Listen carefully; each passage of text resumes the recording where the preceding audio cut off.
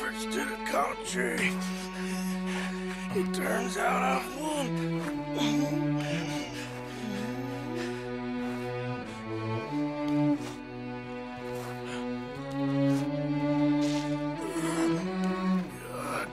you. It is over. Now, Arthur. It's over. Oh, Dutch. He's right. You know it, and I know it. He's sick. He's dying. He's talking crazy. Up there on the ridge! I gave you all I had. I did.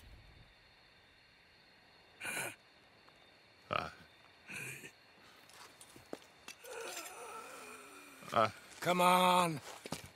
Dutch. Let's go, buddy. We made it. We won. Come on. John made it. He's the only one. The rest of us. No. But I tried. In the end, I did. Come on. Let's go. We can make it.